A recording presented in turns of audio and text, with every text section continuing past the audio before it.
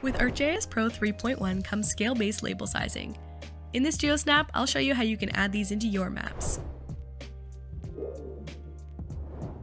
I'm working on a map of the campgrounds in Bon Echo Provincial Park, Ontario.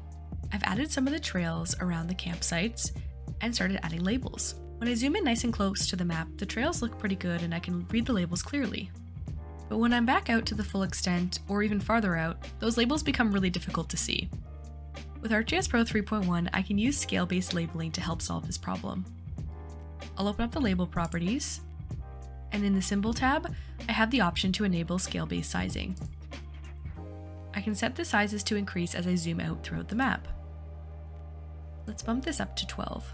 Right away that label becomes a lot clearer. I can keep moving up and increasing the size.